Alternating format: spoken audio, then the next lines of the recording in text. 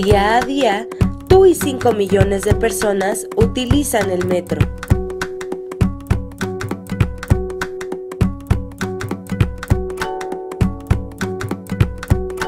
Antes de entrar, permita salir. Respetar para avanzar.